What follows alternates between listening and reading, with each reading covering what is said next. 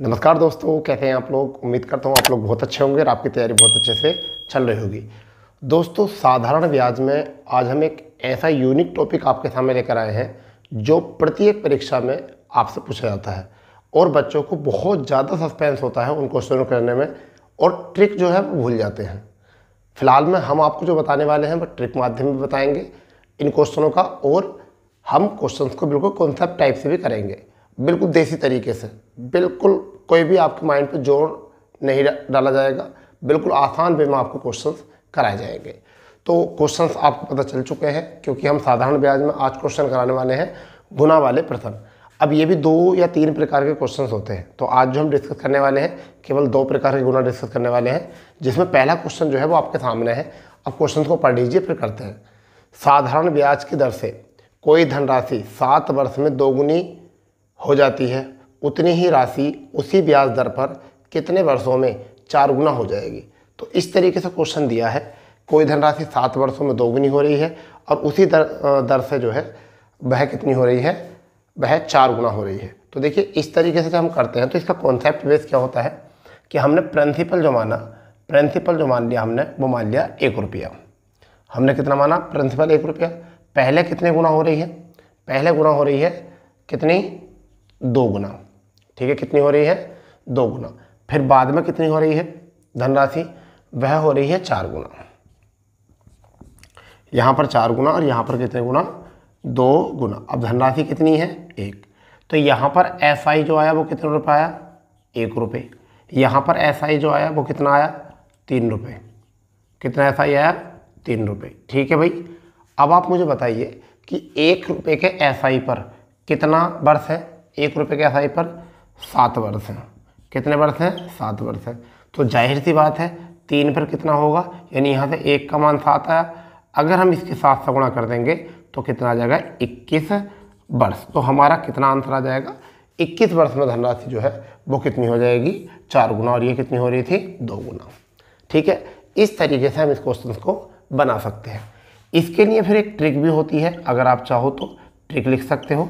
Trick में आपको निकालना है टी, टाइम निकालना है तो सेकेंड गुना माइनस वन और फ़र्स्ट गुना माइनस वन। कितना? फ़र्स्ट गुना माइनस वन और इनटू आपका टी। इनटू कितना? टी। तो सेकंड गुना कितना हो रहा है? चार। चार में से एक। फ़र्स्ट गुना कितना है? दो। में से एक। ज़ाहिर सी बात है, यहाँ से एक बचेगा। और यहाँ कितना है? टी सात वर्ष है। तो अगर सात तिया करेंगे तो कितना आ जाएगा?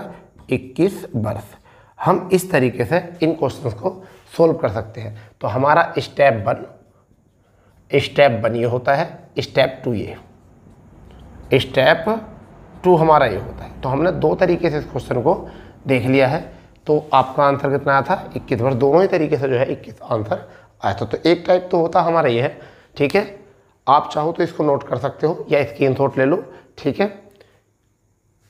आप चाहो तो स्क्रीन ले लो, या फिर आप इसको नोट कर लो, या वीडियो को पोस्ट करने के बाद, ठीक है? और इसको आप नोट कर सकते हो। चलिए, अब हम देखते हैं दूसरा क्वेश्चन ठीक है? आप उस क्वेश्चन को पढ़िए, और फिर हम इन्हीं, इसी तरीके से क्वेश्चन को, उनको भी करते हैं। आपको कोई घबराने की बात नहीं है, कोई भी घबराने की बात यहाँ नहीं है। सारे क्वेश्चन जो है गुना वाले इसी तरीके से हो जाएँगे। तो यहाँ दूसरा क्वेश्चन है। एक निश्चित राशि एक ब्याज पर यानी साधारण ब्याज की दर एक दर से पाँच वर्षों में स्वयं की दोगुनी हो जाती है। तो समान दर पर समान साधारण ब्याज की दर से वह कितने वर्षों में आ, कितने वर्षों में अपने की सोलह गुना हो जाएगी। तो यहाँ पर प्रिंसिपल कितना है? प्रिंसिपल है आपका एक रुपये। कुछ एक रुपये मान लो कुछ सौ मान लो कुछ बात नहीं। तो पहली बार कितने गुना हो रहा है? पहली बार गुना हो रहा है दो गुना। पहली बार कितने गुना हो रहा है? दो गुना। कितना भैया? दो गुना हो रहा है। हो गया? फिर बाद में कितना हो रहा है? सोलह गुना। कितना हो रहा भैया? सोलह गुना। ठीक है? अब आप बताइए, यहाँ पर ऐसा ही कितना आया? यहाँ पर ऐसा ही एक रुपये आया और यहाँ पर ऐसा ही कितना आया? पंद्रह रुपये आया। कितने रुपये आया ऐसा ही पंद्रह रुपये। अब आप मुझे बताइए, कितने वर्षों में? जब एक वर्ष में तो एक रुपये के एस आई पर पाँच वर्ष तक लग रहे हैं। कितने वर्ष लग रहे हैं? पाँच वर्ष। ठीक है? कितने वर्षों में हो रहा था? पाँच वर्ष में। तो आप मुझे बताइए कि पंद्रह वर्षों में कितने लगेंगे? तो अगर मैं पाँच से गुणा करूँगा तो पंद्रह पंजे पिछहत्तर वर्ष आपके यहाँ से लग जाएँगे। यही हमारा क्या है आंसर। सिंपल। अगर हम इसे ट्रिक माध्यम से ही करते हैं, इसको भी क्या करते हैं? ट्रिक माध्यम से करते हैं तो सेकंड गुना कितना है? सोलह। माइनस एक। फ़र्स्ट गुना कितना है? दो माइनस एक। टाइम कितना है? पाँच वर्ष। तो पंद्रह पंजे पिछहत्तर वर्ष। आपके सभी क्वेश्चन जो है इसी ढंग से हो जाएँगे गुना वाले। ठीक है? तो एक गुना तो एक टाइप तो होता ही है। तो ये था हमारा टाइप वन ठीक है? टाइप वन में एक गुना ही आता है। टाइप टू में जो क्वेश्चन आते हैं, उनको भी करेंगे। उससे पहले आप इनको नोट कर लीजिए। आप इसको नोट कर लीजिए। अगर आपको क्लास में मज़ा आ रहा है, आपको कुछ सीखने को मिल रहा है, नया, और जो चैनल पर नए हैं, वो चैनल को सब्सक्राइब करना। जो चैनल से पहले से जुड़े हैं, वो लोग ज़्यादा से ज़्यादा अपने दोस्तों में शेयर करें। ठीक है? जिससे कि आपको और भी अच्छा डाटा उपलब्ध हो सके। ठीक है? क्योंकि हम ट्री के माध्यम से ही पूरे मैथ को आपको कराने वाले हैं और पूरे मैथ को हमने कराया, जिसके लिए हम प्ले लिस्ट भी आपको डाल देंगे और डिस्क्रिप्शन में हम प्ले लिस्ट का लिंक डाल देंगे। चलिए तो आप टाइप टू का देखते हैं। पहला क्वेश्चन क्या है?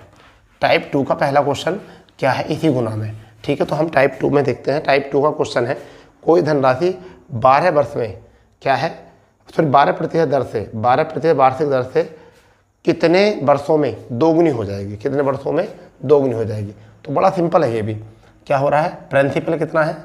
प्रिंसिपल कितना है भाई? प्रिंसिपल है एक रुपये ठीक है तो मिश्रधन यानी कि एस ए कितना है?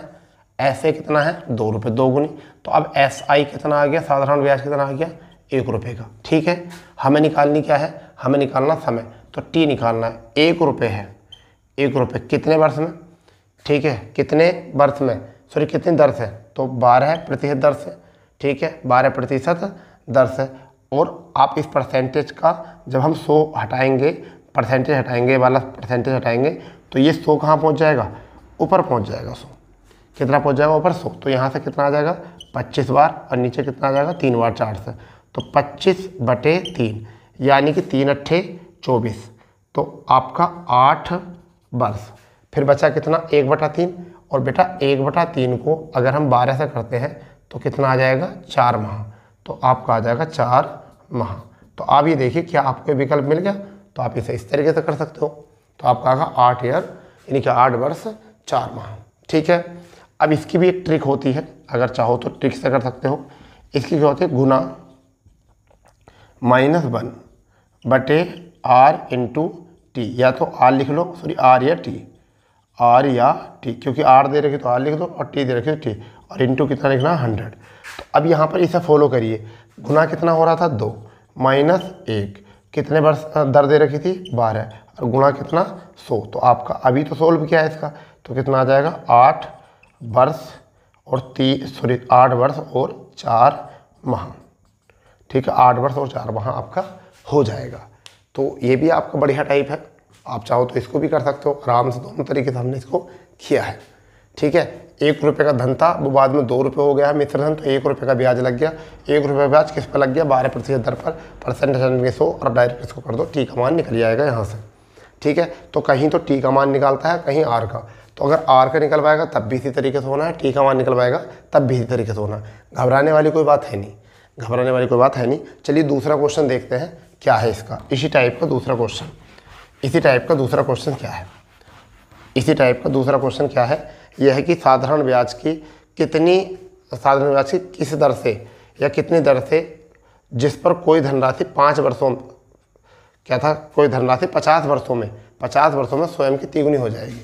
तो देखिए, पचास वर्षों में बोला स्वयं की तिगुनी तो एक रुपये है, इसकी कितनी हो जाएगी? तीन गुनी। क्या हो जाएगी? तीन गुनी। तो ये क्या हो गया? एस ए यानी कि मिश्र धन तो एस आई कितना आ गया? एस आई दो आ गया। अब बताइए, दो एफ़ आई है कितने वर्षों में? पचास वर्षों में गुणा कितना लिख देंगे? सौ।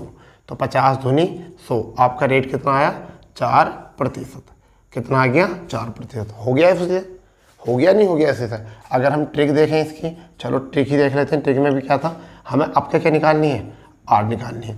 अब कितने गुना हो रहा है? तीन। माइनस एक गुना माइनस वन होता है। और बटे, यहाँ पर कितना लिखा जाएगा? टी और टी कितना है? पचास और गुणा कितना करना है सौ। तो यहाँ से आर बराबर कितना बचा? दो। और यहाँ से पचास और गुणा आपका सौ। पचास से कितनी बार? दो बार। कितना आंसर आया? चार प्रतिशत इज़ द राइट आंसर। ठीक है? तो इस तरीके से हम गुना वाले क्वेश्चनों को आसानी से कर सकते हैं। शायद मैं मानता हूँ कि आपको जो है, अब इन सवालों में कोई कोई परेशानी आएगी है नहीं। ठीक है? और अगर आपको किस्तों वाले सवाल सीख रहे हैं तो किस्तों वाले के सवालों की भी हमने एक वीडियो बना दी है, आप जाइए और देखिए अपनी वीडियोस में लिस्टिंग में देखना और वहाँ पर आपको जो है, वह क्लास मिल जाएगी, ठीक है? तो हमने इस तरीके से गुना वाले क्वेश्चन को भी सॉल्व किया है। अगर आपको किसी भी क्वेश्चन में रिक्वायर है कि आप उस क्वेश्चन का शॉर्ट ट्रिक चाहते हो, अभी तक जितने भी क्वेश्चन आपके मैथ में हो, कोई भी क्वेश्चन आपका हो और उसमें क्वेश्चन का आप ट्रिक चाहते हो तो आप हमें कॉन्टेक्ट कर सकते हो या हमें कमेंट्स में ही उस क्वेश्चन को लिख सकते हो, ठीक है? तो मिलते हैं नई क्लास के साथ, नई ट्रिक के साथ। जय हिंद जवाहर बंदे मातरम।